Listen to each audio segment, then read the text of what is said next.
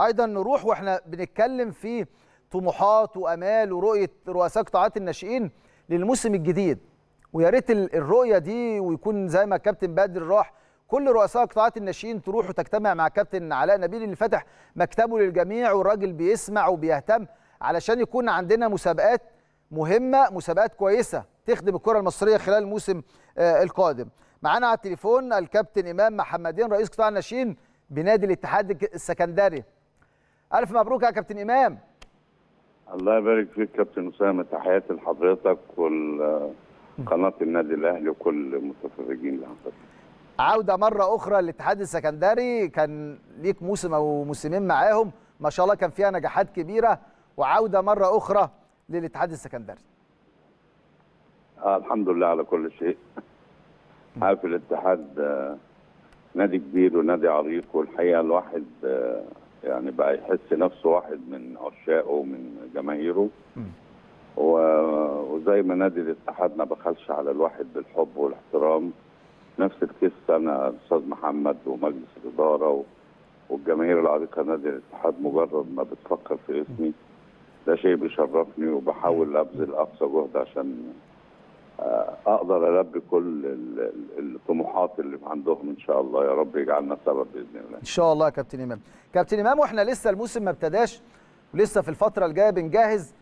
إيه اللي الكابتن إمام محمدين بخبراته الكبيرة في قطاعات الناشئين وطلع لعيبة للكرة المصرية كتير ولكل الأندية المصرية اللي نفسك تشوفه في المسابقات خلال السنين اللي جاية. مش هقول السنة الجاية بس خلال السنين الجاية علشان يكون عندنا قاعدة ناشئين قوية للمنتخبات والأندية وترجع الكرة المصرية لعهدها القديم مرة ثانية والله أنا اتكلمت مع الكابتن علاء طبعا بنبارك له منصبه الجديد. وعلى رأي المثل واحد مننا. وقريب من الاحداث وتولى مسؤوليات مشابهة في المقاولين زي النادي الأهلي وزي انبي وزي المقاولين زي كل الأندية الكبيرة اللي فهو إلى حد كبير لبى احتياجاتنا في المسابقات. ابرزها إيه يا كابتن إمام؟ آه إنه اللعيب آه، إحنا دايما بنأخر سن النضج عند اللعيب المصري. كانت ممكن تبقى نتيجة البيئة نتيجة الثقافة نتيجة التعليم نتيجة التغذية إلى. ما إحنا زي البلاد الأوروبية في النشأ مم. فكون إن أنا أنزل بسن ال- المنافسة أو مش عايز أسميها منافسة في البراعم لكن إنه إيه، الولاد يحطوا في اختبارات جيدة. آه، في سن 8 عندنا مشكلة دايما لما بنوصل للسن الزوجي بتاع 16 سنة آه بيبقى الولاد ما خدوش الخبرات الكافية من اللعب مم. اللي تخلينا مقارنة بالمنافس الأفريقي مم. آه، على قد ال- ال- ال- القيمة الفنية اللي تقدر تنجح آه، السن ده عندنا في المسابقات لكن للأسف إحنا سننا الزوجي ده ما بنوفقش فيه قوي مم. نتيجة العنصر اللي إحنا بنتكلم عنه. فكونك انك بتنزل بسن المنافسات لتحت شوية عشان الولد يخوض غمار منافسات 8 و9 و10 و11 و12 وبعدين يبدأ يلعب مسابقات كبيرة في سن 13 14 يعني النهارده 15. يعني عشان برضو المشاهد اللي بيسمعنا كابتن إمام يعني النهارده حتة إن بدأنا المسابقات من 2016 قصدك كده صح كده؟ آه آه برافو عليك البراء من أنا البراء من المشروع اللي 2016 كان 2015 آه آه مم. خطوة موفقة مم. آه وكان يهمني برضو إن يبقى فيها نوع من التدرج في في عدد اللاعبين وفي مساحة اللعب. زي ما تربينا على مسابقات مصطفى حسين. والمسابقات اللي أقمناها في البراعم من 10 و20 30 سنة آه، إن إحنا بنبدأ بخمسة وجول وستة وجول. وسبعة وجول طب الكابتن الكابتن آه. بدر رجب كان معايا قبل حضرتك واتكلم عن مسابقات البراعم وأنت يعني فتحت موضوع البراعم بيقول إن إحنا عايزين مسابقات البراعم بلاش منافسة في البراعم إحنا ما بنتكلمش مين فاز ومين خسر معاك، لكن عايزين نفتح طبعاً. المساحة للمدربين وما يبقاش في تنافس بشدة في في البراعم بص أنا بتفق طبعا. آه. لكن إنك أنت تعمل منافسات منظمة امم هي هي هي مش هتعتبر منافسات بالمعنى اللي يقصده بدر يعني مم. أنا فاهم نرجع لمسلوب المهرجانات. إحنا كان كنا بنعمل آه، مهرجانات البراعم دي نلعب في اليوم الواحد حوالي خمس ست مباريات مع خمس ست أندية مختلفة. كويس. وبيبقى يوم رياضي كبير من الصبح لغاية أما الدنيا تليل يعني. آه. وياما النادي الأهلي استضاف بطولات. هو والمقاولين الحقيقة وكانوا بيسروا في العملية دي. مم. لما بدأنا نتكلم في المنافسات وال- والأعداد واللعيبة اللي بتهرب من خلال البراعم مم. فاضطروا يعملوا لها قيد عشان يبقى في لعيبة بتسجل. آه. آه، اللي فهمته من علاء نبيل السنة دي إن هو عامل حاجة لطيفة جدا. مم. إنه يعني سن البراعم ده ليه عدد محدد. مم. ليه عدد محدد. عدد في كانت القيد الأول يعني. بتبقى مفتوحة بيحصل فيها استثمار آه. ولعب وأكاديميات وخلافه كويس. فالعدد المحدد النهارده النادي الأهلي أو الانبي أو أي اسم من الأسماء الكبيرة مم. هيركز على أفضل 20 لعيب أو كويس. 18 لعيب آه وكنت أنتظر برضو في المسابقات يعملوا يعني المباريات ثلاث أشواط مم.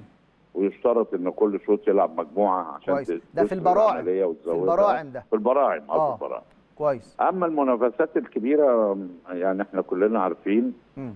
أنا بس الحاجة دايما اللي كنت بناقش فيها الحاج عامر حسين أو الكابتن علاء آه هو إحنا سن 2009 ليه بدأناه بدري قوي كده مسابقات. يعني يعني السن هيلعب في ده سن أولمبي خد بالك يعني ده انت خلي بالك انت 2001. بتتكلم على 2010 السنة دي آه، احتمال يلعب مسابقة جمهورية كمان صح كده آه يعني هي اختياري اختياري مش إجباري هو هو السؤال يا أسامة آه أنا هلعب السن ده هيلعب إيه مسابقات. وإمتى بتبدأ منافساته آه. على المستوى القاري مم.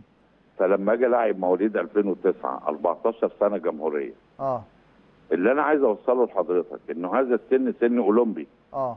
وده اميز سن في المراحل السنية في التدريب مم. سواء للناشئين في كل مح- محافل العالم يعني. آه. يعني السن الأولمبي اللي هو 2001 اللي حاليا رايح فرنسا بتاعنا. مم. الجيل اللي جاي بعده 2005 مم. الجيل اللي بعده 2009 مم. طيب 2009 ليه ما بنسيبهمش لغاية مرحلة التمعظم اللعيب يعدي المرحلة دي؟ لغاية ما يوصل 16 سنة سليم في منافسات عادية. من غير سفر من غير مسابقات من غير إنه يدخل في ال... آه يعني الاستواء بتاعه يتأخر شوية خاصة إن إحنا هنلعب لسه سنة 2029 لسه عندنا فترة أنا ليه ببدأ في 2023 أبدأ مسابقات بالشكل ده مم. وهو سن منافساته اللي هي التصفيات المؤهلة هتبدأ لسه في مايو 2028 مم. فأنا كنت مستني إن السن ده يتسنى عليه شوية. ينضج بشكل أفضل. ربما تفكيرهم في الاتحاد عشان ياخدوا منه المميز يحطوه في 2008 آه. بس بقول لك إحنا ما بنراعيش حكاية. ال ال ال ال ال الناشئ بيتربى تربية سليمة فسيولوجيا. يعني في وقت لازم تسيبه ينمو في وقت لازم تسيبه يتمعظم عظمه يكتمل. الحاجات اللي أنت بتقدر تشتغل فيها بدري اللي هو السن الزوجي لأنك انت مجبر تلعب في سن 16 تصفيات.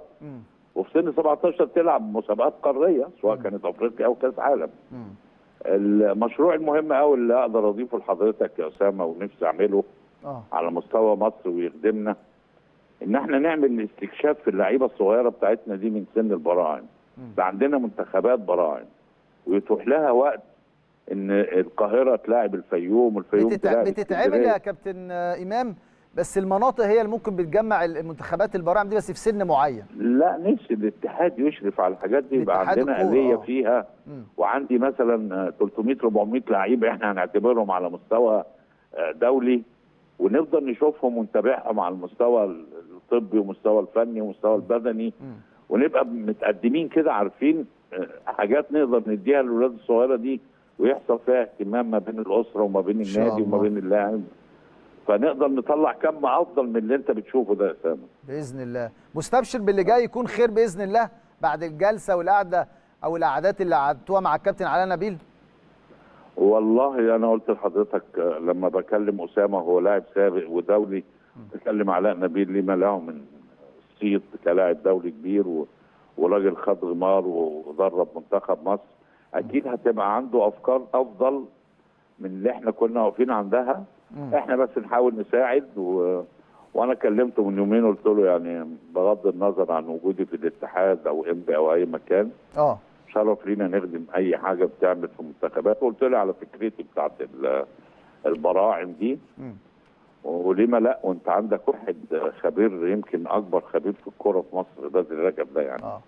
أنا بدر رجب ده بعتبره ايقونة كبيرة.